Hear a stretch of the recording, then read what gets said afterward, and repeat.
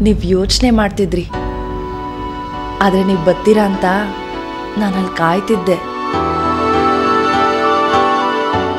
ನೀವು ಬರ್ನಿಲ್ಲ. ಅದಕ್ಕೆ ನಿಮ್ಮನ್ನು ಹುಡಿಕೊಂಡು ನಾನೇ ಬಂದೆ.